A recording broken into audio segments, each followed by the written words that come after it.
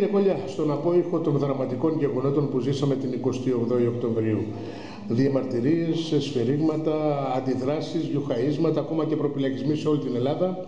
Στην Κόρινθο βέβαια μείναμε στις έντονες διαμαρτυρίες του κόσμου. Ε, εσείς παρόλα αυτά δεν αποφύγατε να πάτε στην παρέλαση, ήσασταν εκεί. Τι λέτε για όλο αυτό το κλίμα που έχει διαμορφωθεί στη χώρα μας; Δεν μπορώ να διανοηθώ κύριε Γιακηδάκη ότι ένας βουλευτής δεν θα παρευρεθεί σε μια εκδήλωση, εθνική εκδήλωση που έχει σαν κύριο στόχο να τιμήσει τους ανθρώπους που έδωσαν τη ζωή τους, που άφησαν τα κοκαλά τους στα βουνά της Αλβανίας προκειμένου σήμερα εμείς να είμαστε ελεύθεροι. Υπήρξαν διαμαρτυρίες στην Κόρινθο, οφείλω όμως να ομολογήσω ότι ήταν μέσα στα πλαίσια της δημοκρατίας, τους ανθρώπους που ήταν απέναντί μας όλους τους γνωρίζω, ήταν και επιστήμονες, ήταν και άνθρωποι επίπεδου και κράτησαν τις διαμαρτυρίες σε ένα επίπεδο που δεν δημιούργησε κανένα απολύτως πρόβλημα στην εκδήλωση και στον κόσμο που ήρθε να παρακολουθήσει τα παιδιά του.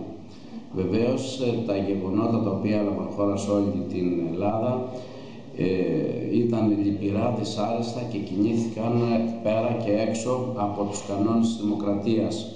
Κατανοώ την αγανάκτηση του κόσμου, κατανοώ ότι σήμερα ο κόσμος βρίσκεται σε απόγνωση και απελπισία. Δυστυχώς τα μέτρα που έχει επιβάλει αυτή η κυβέρνηση είναι δυσβάστακτα και οι πολίτες πλέον δεν μπορούν να ανταποκριθούν στα χαράσκια που πέφτουν ε, το ένα μετά το άλλο. Όμως αυτή η κρίση που είναι κρίση κοινωνική, που είναι κρίση οικονομική, δεν θα πρέπει να γίνει και κρίση θεσμών. Τα γεγονότα που έγιναν στη Θεσσαλονίκη και αφορούσαν και τον πρόεδρο της Δημοκρατίας, θεωρώ ότι δεν πρέπει να, να επαναληφθούν, γιατί ο πρόεδρος της Δημοκρατίας είναι θεσμός, συμβολίζει την ενότητα του ελληνικού λαού και σαν άνθρωπος πιστεύω ότι έχει προσφέρει σημαντικά, όπως είπε και ο ίδιος, από τα παιδικά του χρόνια στην αντίσταση, στην, ε, στον αγώνα κατά του φασισμού και του ναζισμού και θα έπρεπε αυτόν τον θεσμό να τον περιφρουρούμε όλοι. Πρέπει να το αντιληφθούμε και αυτά τα γεγονότα να μην ξαναπαναληφθούν. Κύριε Κόλλια, όπως αναλύουν και οι αρμόδιοι επιστήμονες και οι αναλυτές με πρόσφατες δημοσκοπήσεις που έγιναν, αυτή τη στιγμή αυτό που συμβαίνει στην ελληνική κοινωνία ονομάζεται κρίση μίσους της πραγματικότητας. Δηλαδή, ο ελληνικός λαός αυτή τη στιγμή τα έχει με όλους, ε, με ό,τι βλέπει μπροστά του ως εξουσία, στην κατάσταση που βρίσκεται, αντιδρά με αυτόν τον τρόπο. Από πλευράς πολιτικής εικόνας της χώρας μας, μπορεί να παραμείνει αυτό το σκηνικό. Τι θα κάνουμε, πού θα πάμε; Όπως το λέτε ακριβώς, δυστυχώς αυτό το σκηνικό δεν μπορεί να παραμείνει. Αυτή η κυβέρνηση έχει πάψει προπολού να διαχειρίζεται την ευθύνη του τόπου, δεν μπορεί να ανταποκριθεί στις περιστάσεις των καιρών, δυστυχώς δεν διαπραγματεύεται, έχει κατεβάσει τα χέρια. Να σας αναφέρω χαρακτηριστικά άλλως, για φαντάζομαι το έχετε δει και εσείς, ότι μεγάλη, μια μεγάλη ομάδα δημοσιογράφων της μεγαλύτερης γερμανικής εφημερίδας διερωτά το πώς είναι δυνατόν αυτή η κυβέρνηση να μην αντιδρά και να λέει συνέχεια ναι. Είπαν συγκεκριμένα ότι θα είχαν κάνει και μήνυση για επικίνδυνες σωματικές βλάβες αυτό ακριβώς δίνει το στίγμα ότι αυτή η κυβέρνηση πλέον έχει χάσει βέβαια και την ε, έξωθεν καλή μαρτυρία, δεν σε καμία περίπτωση δεν εκφράζει τον ελληνικό λαό.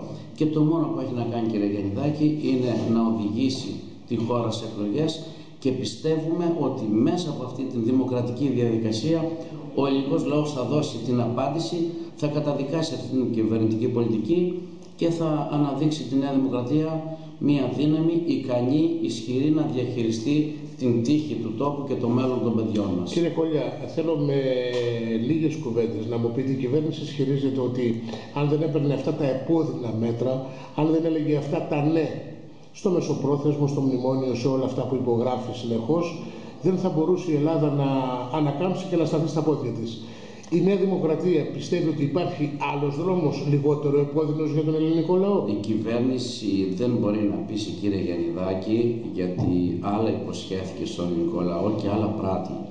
Υποσχέθηκε αυξήσεις πέρα από τον πληθωρισμό, έλεγε ότι λεφτά υπάρχουν, έταζε στους πάτες λαγούς με πετραχίλια. Σήμερα έχει αναδειχθεί σε όλο, σε όλο το μήκος και πλάτος η αναξιοπιστία της Και βεβαίως η Νέα Δημοκρατία στην ερώτησή σας τι πρόκειται να κάνει, έχει ξεκαθαρίσει και στο ΖΑΠΙΟ 1 και στο ΖΑΠΙΟ 2 την πολιτική της σε βασικούς, σε νευραλικούς τομείς της οικονομίας και της κοινωνίας και από εκεί και πέρα με μέτρα συγκεκριμένα, μέτρα τα οποία τα έχουμε κοστολογήσει, τα έχουμε τεκμηριώσει, θα προχωρήσουμε στην ανάκαμψη της οικονομίας, θα τονώσουμε την πραγματική αγορά και θα δημιουργήσουμε προοπτικές και προϋποθέσεις για ανάπτυξη, η οποία ανάπτυξη είναι αυτοτροφοδοτούμενη και θα γεννήσει και πλούτο και καινούργιες θέσεις Με τα υπάρχοντα μέτρα δηλαδή πιστεύετε ούτε ανάκαμψη έρχεται, δεν υπάρχει ούτε ανάπτυξη. Αυτό το βλέπετε, το, δεν το λέμε μόνο εμείς, το λένε και οι βουλευτές του ΠΑΣΟΚ, οι οποίοι πλέον βρίσκονται σε απόγνωση και αυτοί και είδατε και το Σαββατοκύριακο που πέρασε, δηλώσεις συναδέλφων που ζητούν να εγκαταλείψει την Πρωθυπουργία ο κ. Παπανδρέου. Η Νέα Δημοκρατία και ο πρόεδρος του, ο Αντώνης Σαμαράς, πιστεύουν ότι είναι έτοιμοι στο οποιοδήποτε, ε, στις οποιοδήποτε προκλήσεις στο επόμενο χρονικό διάστημα. Γιατί ακούγονται και φήμες ότι πολύ σύντομα μπορεί να υπάρξουν εκλογές. Είστε έτοιμοι; Το ρόλο που θα σας αναθέσει ο ελληνικός λαός να το φέρετε σε πέρας; Σας είπα και προηγουμένως κύριε Γιαννιδάκη ότι η Νέα Δημοκρατία έχει ένα πρόγραμμα κοστολογημένο. Το παρουσιάσαμε στο ελληνικό λαό. Ένα πρόγραμμα που απευθύνεται στην αγορά ένα πρόγραμμα που πιστεύω ότι σε πρώτη φάση μπορεί να αναγεννήσει την ελπίδα και την αισιοδοξία. Διότι όπως γνωρίζετε όλος ο ελληνικός λαός βρίσκεται σε απόγνωση, βρίσκεται σε απελπισία και δεν νιώθει ότι υπάρχει ελπίδα για το αύριο. Το πρώτο πρώτο το οποίο έχουμε να κάνουμε, να κάνουμε και ήδη με τη συμπεριφορά μας, με την αξιόπιστη πολιτική μας, με την αντιπολίτευση η οποία βάζει πάνω από όλα το εθνικό συμφέρον, Πιστεύω ότι έχουμε καταφέρει και το έχουμε κερδίσει και αυτό δεν το λέμε εμείς, το δίνουν και οι δημοσκοπήσεις που καθημερινά ανεβάζουν τη διαφορά σε σχέση με το ΠΑΣΟΚ, αλλά και ε, όλο και περισσότερο πιο έντονα καθιστούν τη Νέα Δημοκρατία ως μια αξιόπιστη εναλλακτική πρόταση διακυβέρνησης. Ο Κώστας Σοκόλιας, ε, σαν βουλευτής Κορινθίας, με την εμπειρία του πλέον και το κύρος που έχει, τι βλέπει ότι έχουμε, ετοιμαζόμαστε για ένα θερμό χειμώνα; Εγώ πιστεύω, κύριε Γενιδάκη, ζω στην Κορινθία, καθημερινά είμαι μέσα στα μαγαζιά, βλέπω τι γίνεται στο νομό μας. Ο νομός μας από την 7η θέση που ήταν πριν από 20 χρόνια, δυστυχώς έχει φτάσει στις τελευταίες σε εθνικό επίπεδο και βλέπω καθημερινά τα προβλήματα των ανθρώπων να μεγαλώνουν. Θα έχουμε βεβαίως εξελίξεις, όμως στην δημοκρατία δεν υπάρχουν αδιέξοδα. Η δημοκρατία έχει την δυνατότητα ανά πάσα στιγμή να αντιδράσει, να λειτουργήσει και να δώσει τις λύσεις που χρειάζονται συγκεκριμένη στιγμή. Σας ευχαριστώ πάρα πολύ για αυτή τη σύντομη κουβέντα. Να είστε καλά.